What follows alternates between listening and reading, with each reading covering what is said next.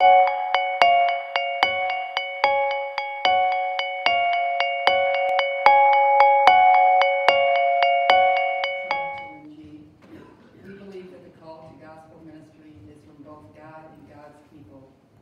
Lindsay, are on this journey because you have sensed the personal and powerful call of our Lord.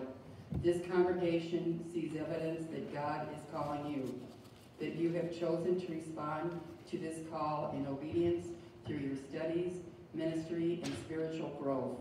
Therefore, this congregation now presents this life. Do you promise before God in the presence of these people to faithfully speak and to know and do God's will in all things to continue humbly and obediently with your studies, service, and submission to God and his church through whom you will come to know our Lord's direction? I will do so with God's help and blessing. Congregation, could you please stand as you are able? Charge to the church. Do you, friends of Lindsay and members and friends of this congregation, affirm Lindsay in the presence of God and one another? You promise her your loyalty, support, cooperation, and prayers? Remembering the love of our Lord Jesus Christ, to walk together in Christian unity and to serve with gladness, do you renew your covenant to do so?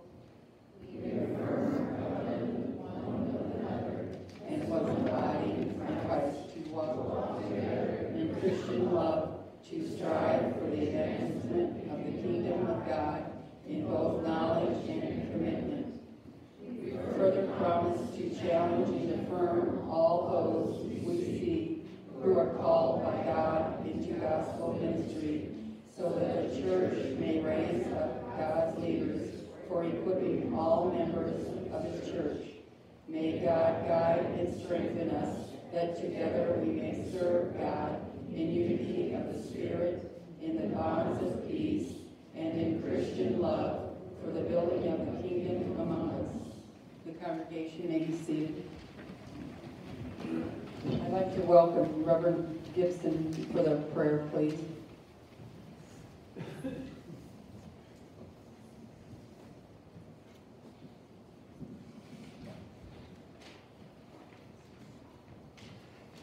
Just want to say a word before we pray, and that uh, when I was licensed a few years ago, um, I remember an older couple who, who were not able to come to church very often showed up.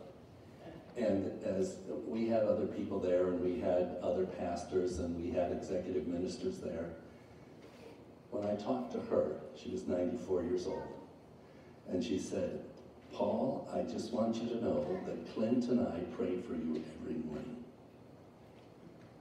And I remember walking by their house one morning at 7 o'clock in the morning, and there they were sitting on their porch in prayer. I believe that in heaven, when all of the people are gathered, when Billy Graham and others are around, that when Jesus comes out, before he stops to talk to Billy Graham, before he stops to talk to any all the other great people of faith, he's going to walk over to people like Clint and Sarah Belzer and simply say, Thank you for praying. There are preachers, there are teachers, there's all kinds of folk out there. But the energy comes from prayer. And you will help make her the person that God wants her to be as you pray her strong in the Lord. So as we pray for her, this is not a one-time prayer and it's like, okay, we're done, we've prayed. I would ask that you continue to pray for her on a daily basis. Let's pray together and let's all come around and lay our hands on her. Father, we are here because you are here. You are present in this place and you have chosen this person in a special way. So we lift her up to you.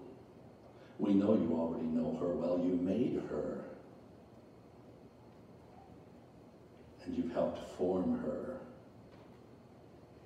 And then you spoke a special word to her to be yours in a special way. So, Father, as Lindsay goes on her way, may she always feel your presence. May she know that there are many, many people that are holding her up in prayer.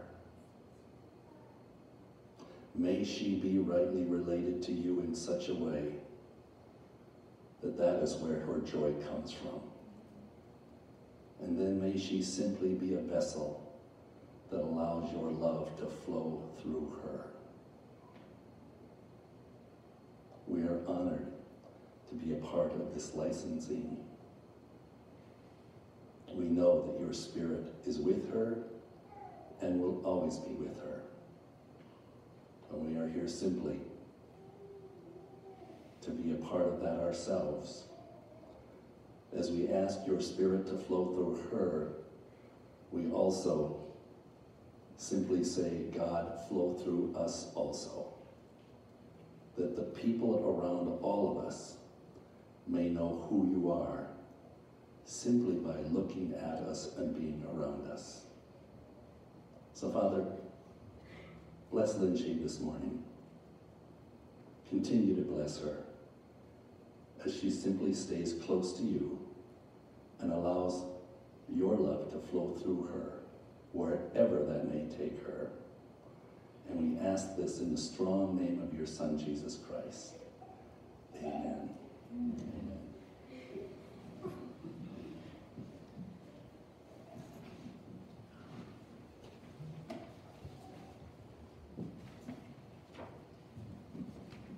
Lindsay, on behalf of the, myself and the First Baptist Church here in El Paso, I'd like to present you with your license and congratulations.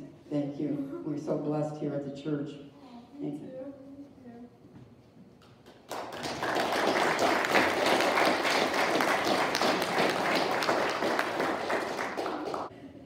I'm so blessed here today, and then um, I'm so glad that I can be the witness of how God um, was working in my life, and He is working, and He will continue working in my future.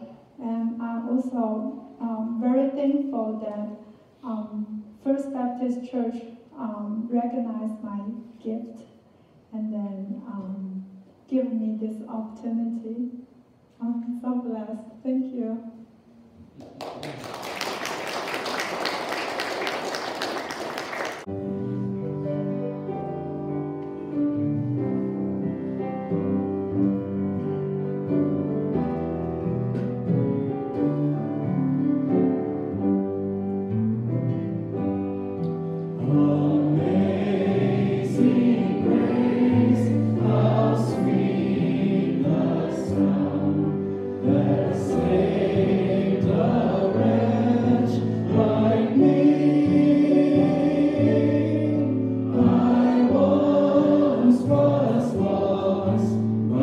now.